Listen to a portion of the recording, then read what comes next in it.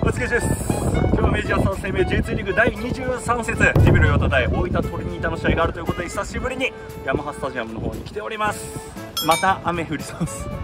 なんかね本当に来るたび来るたび観戦の時雨降ってるなと思ってるんですけどまあ今日ね今はまだ降ってないんですけどこの後降る予定ということでもうどうしてこんなに天気に恵まれないのかと。この間のね甲府戦も雨でしたし、まあ、ただね雨降るとジュビロ負けたことがないと。いうことがあるらしいんですよ今季なんとしても今日その雨を味方につけてジュビロが勝ち点差を取るようにいたしましょう。大分相手にはですね、まあ、前半戦負けてるんですよね。大分さん今ね2位の勝ち点41だったかな。でうちが今日勝てば勝ち点40になるんですよ。そうすれば自動昇格圏の背中がバッチリホールドみたいなね感じの展開になるのでなんとしても今日上位対決を制して勝っていくようにしましょう。ジュビロはね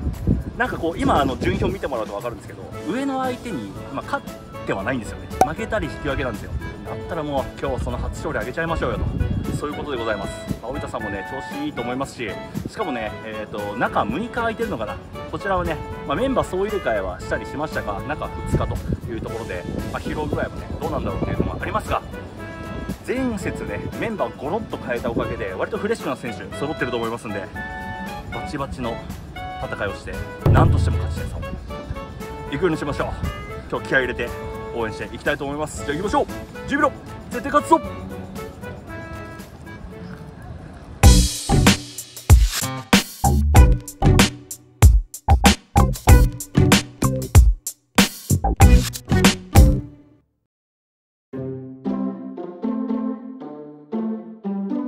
今日から見てくださいこんな感じで歴代選手のフォトパネルが出てるということでちょっと見てみますね左がキーパー右がフィードプレーヤーって感じになってますねもうガミさんとかカミンとか田口義和選手素晴らしいキーパーたちがこう乗ってますねそして田中誠選手に鈴木秀人選手そして福内選手に駒ちゃんにハットさんということでねこの前で撮るとあんな感じで。こんな感じで写真撮れます。モザイク入れとくかあの仲間なんでという感じであんな感じで写真撮れるということで。このパネルがねいつまであるかちょっと分かんないんですけど、まあ、ぜひねまた来た時にあればこの前で皆さん写真撮っていただければいいんじゃないでしょうか。僕が撮った写真はこんな感じです。こんな感じでねいい感じの写真が撮れるんでぜひとも皆さん新たなジュビロ磐田ヤマハスタジアムのフォトスポット訪れてみてはいかがでしょうか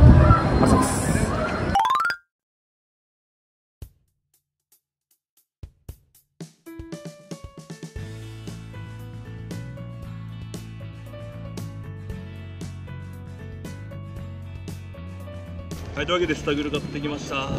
えっと、アルゼンチン料理があるということで、これ前からあったかわかんないですけど、今日初ですかね、アルゼンチン料理のお店があるというところで買ってきました。これがなんかチョリパンというやつですね、ソーセージ入ったやつですけど、あとこっちがエンパナーダのやつですね。まあ、どんな味するかはわかんない、っていうか、多分アルゼンチン料理食ったことないんで、食べてみたいと思います。アルゼンチンといえばやっぱりポルリンを思い出しますね。懐かしいな、ポルリン。だいぶ期待してたんですけどね、1試合も出ないまま、本当に秘密兵器のまま移籍してしまったというね、まあ、ただ、エスパルスにボコられた練習試合の時は出てた気がするんですけど、じゃあいただきます。うこんな感じでね、めちゃめちゃ肉汁ジューシーですね。これがうまいな、初めて食べたような感じはしない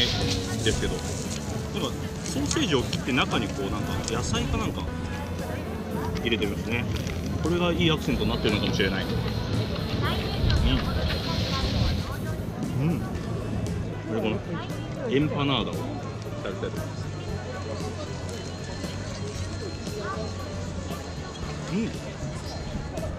うん。中はこんな感じになってるんですけど。なんだこれ中に入ってるのなんかひき肉みたいなのとなんだ野菜がいっぱい入ってて。もう日本にはない味っていうか、うん、南米系の料理って感じの味がします。ねこれも美味しいな。美味しいなこれ。出来たてすぎる。うん。いやというわけでねジュビロ広場今歩いてるとこなんですけども。なんかね今日さっきアルゼンチン料理食べたんですけどブラジル料理もあるみたいなんですよ。アルゼンチンといえばポルリ。ンいやワールドカップ優勝の方がね皆さんにはこう響くものがあるんでしょうけど僕らからするとアルゼンチンイコールポルリンなんですがポルリン料理をさっき食べました。そしてなんかブラジル料理もねあるんですよね。ブラジル料理といえばはいルドゥですね。ルドゥとリカルド・グラサ選手。2人のねブラジル人選手をね擁しているジュビロ磐田なのでぜひともブラジルを食べてね2人のこの思い出の味かどうか分かりませんがそこに近づいていきたいなと。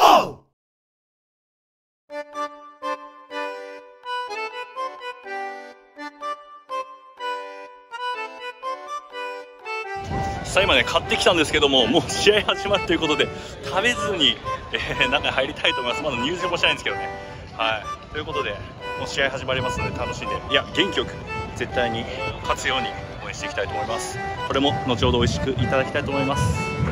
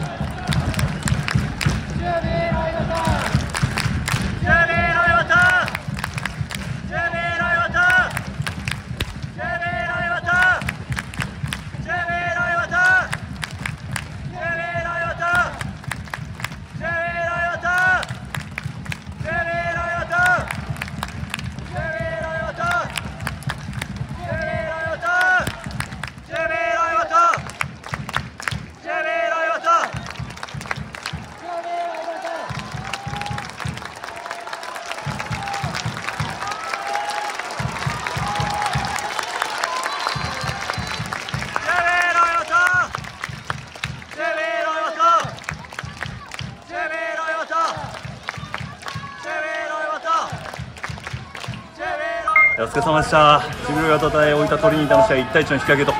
う形で終わりました。お疲れ様です。いやちょっとね大分の前からのプレスがすごい圧が強くてね前半かなり苦戦しましたし、まあ、失点はねちょっと飛び出すのか飛び出さないかの狭間にいってしまった三浦選手のちょっと判断ミスなのかちょっと分かんないですけどね。うまいこと相手の選手にシュートを決められましたね。あのシュートよく決めたなというふに思いましたけども。いやただねあの後半になるとねあの大分のこうプレスがだいぶ弱まった感があったんでその関係でジュビロのこう形が作れるようになってきたのかなというふうに思います、まあ、そんな中からね、えー、鈴木優斗選手が、まあ、見事な崩しでしたね。ゴール前での崩しから鈴木優斗選手がばっしり決めてくれてなんとか追いついてそこからね後藤選手とかね、えー、前線の選手ラストも入ってきていい形惜しいシーンあと一歩まで行ったんですけども本当ゴール前もうちょっと後藤選手の足があと30センチぐらい長ければね入ったんだろうみたいなシーンもありつつそして古川選手は今日も良かった。もう向こう左サイドからのねこう崩しでだいぶチャンス3、4本あったんじゃないですかね作るということで、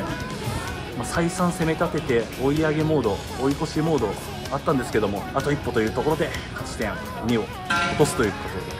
ありました、まあ、上田さんからしてもね、えー、まあ、そういうイメージあると思うんですけどもまあ悔しいなというふうに思ってます。にしてもね大分めちゃめちゃ強かったですね。あわかりました。もう出ます。ということでね、えーと、もう清掃が始まるということなんで僕はこれから出て帰りたいと思います、まあ、次また応援しますんで発言しましょう